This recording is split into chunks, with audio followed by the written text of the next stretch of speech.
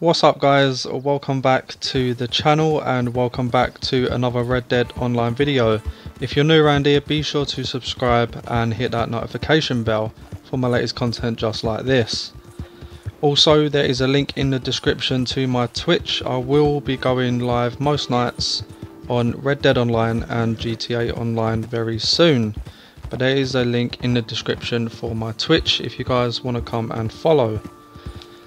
So, getting straight into the video. Rockstar put out a, a, new patch update yesterday and I did do a video straight after we got that patch update and in that video you guys saw me find a legendary animal, the Emerald Wolf, within 3 minutes of loading the game up, which I thought was absolutely insane. And I thought yes, Rockstar have done good here, they've not completely broke the game like they did last time. And you know, where do we start? Basically, after the video, uh, I tried to get more legendary animals, I had no luck. Um, it could be it could be down to the spawn ratio, but we'll get into that anyway. And on the night, you know, a few hours later, uh, my one of my team members, uh, Barrett, shout out to Barrett. Uh, he he uh, we went into a solo lobby. There is a way of of doing it. You need two players. I'm sure a lot of you guys know it. And I got my friend Barrett into a solo lobby, and he wanted to just go around on his own. He was the only one in the lobby to look for legendary animals. Now, as soon as he spawned within 10 minutes, the Nightpaw Coyote spawned in. Now, he already had the outfit for it and he didn't want it. It was it was a legendary animal that I needed. So he quickly invited me back to his session to give me the Nightpaw Coyote, which was very, very generous of him. So I got that without needing to do the work and that is one off my list. And today, the gameplay you're seeing right now is what I just recorded and this is just a part of the gameplay. And I was I was playing the game for three hours just looking for legendary animals in free roam that's all I was doing. Almost three hours went by without finding one legendary animal.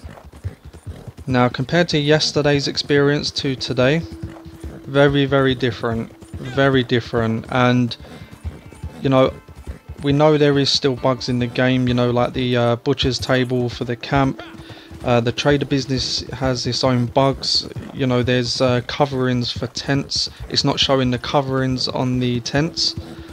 Uh, you know, it just seems that when we get a new patch update, there's new bugs, or there are still bugs that are still active from before the patch. And as little as butcher's tables not being able to be purchased it's a little thing to do and Rockstar you're not doing it and it uh, it really frustrates me you know Rockstar or a massive gaming company they've earned billions the last few few years from GTA and they've earned good money from Red Dead 2 so why are they not getting liable servers? You, you know, it's a one-time purchase thing. You purchase it, it's done. And they're not doing it. And going back to legendary animals, I've been playing right as you can see in the gameplay right now. I'm looking for the I believe it's the coyote in MacFarlane's Ranch in New Austin. I can't remember what it's called. The red streak coyote, something like that. And that animal is active anytime in the day and it doesn't matter what the weather is. So just from that description, it should be a very easy legendary animal to spawn in compared to most of the legendary animals. But it's not, it's not spawning in. I, you know, I, I went to Armadillo uh, just before this location to look for the desert elk and I went to all the locations, it was the right time of day, it was the right weather, nothing. I've There's a legendary animal I've been trying to get for a while now and that is the snow bison in Colter. And uh, you know, I've been trying a lot. I've been in, you know, all for that legendary animal, the snow bison. It just needs to be dark and clear weather. I've tried plenty of times. It just will not spawn in. And I've been getting a lot of comments recently that people are spending hours. To, this was from the video I posted yesterday after the patch update. That people are spending hours looking for legendary animals in the right times and the right weathers. They're just not spawning in. Now, as you see here, guys, I literally just spawned in to Colter. I fast travelled to Colter. The second I, I fast travelled to Colter, there we go. We have the legendary marble fox. Now, a lot of you guys know I had a lot of trouble getting this legendary animal, uh, you know, a couple of weeks ago. I spent a total of probably 32 hours plus gameplay just to try and get this legendary animal. Guys, this is the fourth time I've now found it.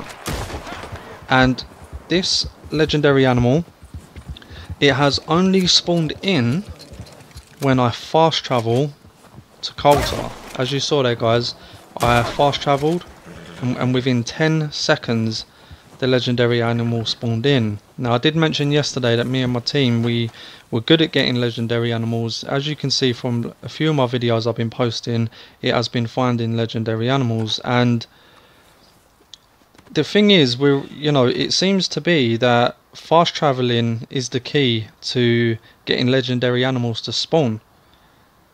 As you saw, I, I fast travelled to Colter, 10 seconds, legendary animal spawned in. Now I do have the outfit for this legendary animal so I'm just going to hand it into Cripps as these legendary animals do benefit your trader role very very good. So I would recommend it. I wouldn't, if you already have the outfit and, and sample of the legendary animal, I would just recommend giving it to Cripps for your trader role as it does increase the goods really really well. So guys, you know, whenever you're looking for a legendary animal, when you are when you want to go to the area of the legendary animal, the snow bison or the snow buck, anything like that, any animal, preferably fast travel in the area of that legendary animal. Then quickly as you can, go more into the area of that legendary animal, and you'll probably have a better chance of it spawning in. That seems to be the method for me, from my experience. I've probably found a good 8 to 10 legendary animals just from fast traveling into that area. So, also guys, down in the description, I will leave a link to a guy, Videotech. A lot of people know him. He's on Twitter. It will be a link to his Twitter, and that will show you a thread of all the fixes that were included in yesterday's Red Dead Online new patch update. So check it out if you want to, if you don't already know what the fixes are. But there are a lot of fixes to come. Rockstar did go ahead and say they are releasing patch fixes in stages because they tried to do it all at once before and it broke the game. So we will get more fixes but in stages.